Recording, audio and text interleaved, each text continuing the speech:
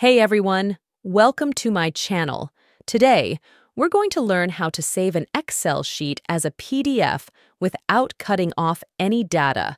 So, let's dive right in. First, open your Excel workbook that you want to save as a PDF. Now, go to the File tab located at the top left corner and select the Print option. This will open the print preview, where you can see how your sheet will look when printed. Go to the Scaling option and select Fit Sheet on one page. This will adjust the scaling so that your entire sheet fits on one page. Next, select the Save As option in the File tab. Click on the Browse option to choose the location where you want to save your file. Once you choose your desired location, you'll see the Save As Type option.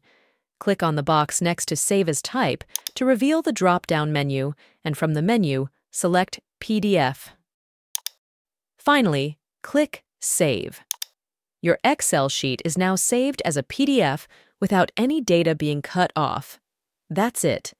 If you found this video helpful, please give it a thumbs up and subscribe to our channel. Thanks for watching